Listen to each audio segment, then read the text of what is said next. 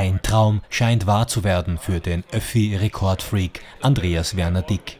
Einmal das gesamte Wiener Straßenbahnnetz durchgehend zu befahren. Am 16. April 2015 um 6 Uhr früh in der Remise Floridsdorf war es dann soweit. Start zum 16-Stunden-Marathon über 177 Wiener Schienenkilometer.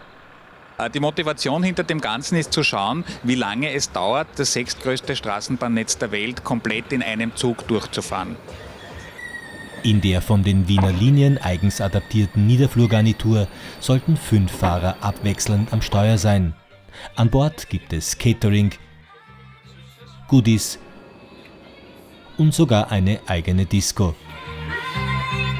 Der Rekordtag war also bestens vorbereitet.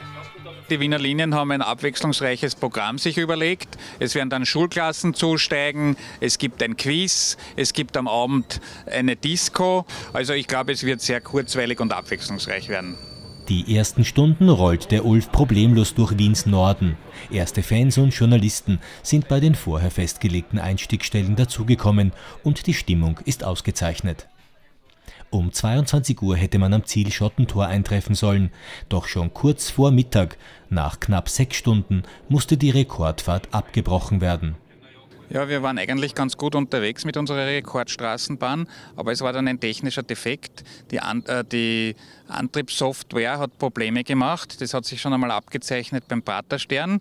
Dann wurde versucht, in der Schleife in der Augasse den Fehler zu reparieren, aber das war nicht möglich. Und mit einem Notprogramm sind wir dann bis in die Remise Währing gefahren und dort war dann Ende und Abbruch. Wir sind alle sehr zuversichtlich, dass es im nächsten Jahr, 2016, einen zweiten Versuch für die Weltrekordbefahrung des kompletten Wiener Straßenbahnnetzes geben wird.